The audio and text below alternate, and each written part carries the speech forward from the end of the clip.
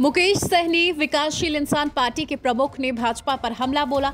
अपने एनडीए में गठबंधन पर भी कई टिप्पणी की।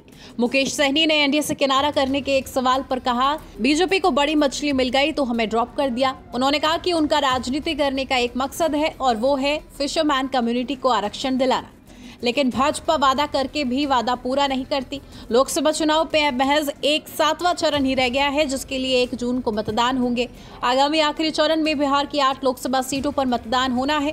राजनीति में अपनी मज़बूत पकड़ रखने वाले विकासशील इंसान पार्टी के अध्यक्ष मुकेश सहनी कभी एनडी का हिस्सा हुआ करते थे, लेकिन इस चुनाव में वो आरजेडी के साथ। मुकेश का कहना है कि इस बार बीजेपी को पता चल जाएगा। मोदी जी को दो दो बार बिहार में रात्रि विश्राम करना पड़ा है। गृह मंत्री बार बार बिहार आ रहे हैं।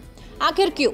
बीजेपी का बिहार में समीकरण बिगड़ चुका है और खास करके अति पिछड़ा वोट का समीकरण बुरी तरह बिगड़ चुका है।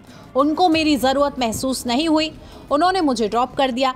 उन्होंने कहा कि आप हमारे एनडीए के साथ रहिए। आरक्षण के लिए लेटर भी भेजा था। गृह मंत्री ने कहा था कि इस बार शीतकालीन सत्र में उसे पटल पर लाया जाएगा। सीट भी अच्छी खासी देने के मूड में थे, लेकिन जब नीतीश कुमार यानी कि बड़ी मछली की एंट्री हो गई तो हमें ड्रॉप कर दिया।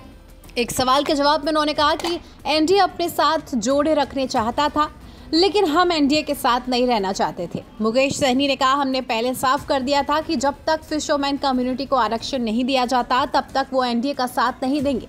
पॉलिटिकल ग्राउंड पर पूछे गए सवाल के जवाब में मुकेश सहनी ने कहा कि हम अच्छी मेहनत कर रहे हैं और जब नतीजे आएँगे, तभी पता चलेगा। उन्होंने कहा, ऐसे तो चुनाव में अच्छा समर्थन मिलता है, वरना 2020 में बीजेपी हमें 11 विधानसभा की सीटें नहीं देती। नमस्कार, मैं हूँ मानक गुप्ता। अगर आपको हमारा ये वीडियो पसंद आया हो तो इसे लाइक और शेयर ज़रूर करें। और हाँ हमें सब्सक्राइब और फॉलो करना ना भूलें।